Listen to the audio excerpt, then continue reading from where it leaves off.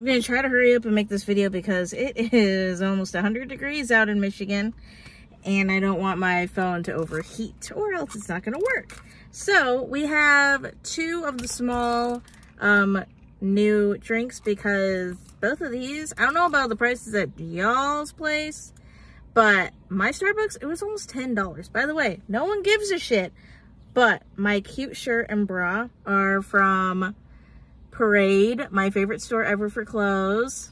I will have them linked in my description and you get 20% off if you use my code. I get nothing out of it, but you get 20% off. Anyways, so this is the uh, passion fruit pineapple refresher.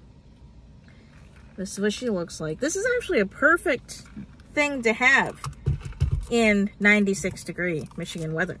And then this is the paradise drink. They did have a lemon, or no, not lemon, but lime, like coconut drink, not drink, bar. But that was sold out for the day. I don't know about like other Starbucks, but I feel like every time I go into a Starbucks, if I don't like try and get a baked good or whatever item before like one, then everything's like basically gone. So my guess is that they don't actually keep a whole lot of like inventory on hand when it comes to like the food items. But yeah.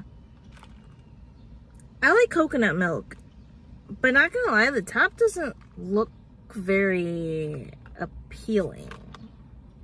I mean, it could be because of like the fruit chunks and stuff. But this one's pretty. Does anyone else think that like Dunkin' and Starbucks like the drinks are way too similar. Like the refresher drinks, I'm like 99% sure Dunkin' has a pineapple passion fruit refresher or something. They have a pineapple refresher for sure. So I'm gonna go ahead and try this.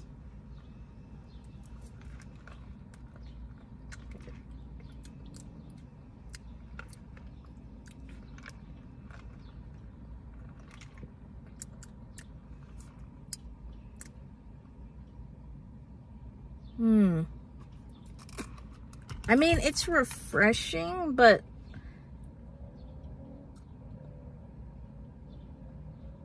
it's got like kind of a weird tang to it. Like, I don't know if I was expecting that. It's definitely not as sweet as I thought it was going to be. I think that's what threw me off. And then the paradise drink. Oh. Mmm. That's good. That's really good. Would I spend almost $5 on it again? Probably not, but it's good.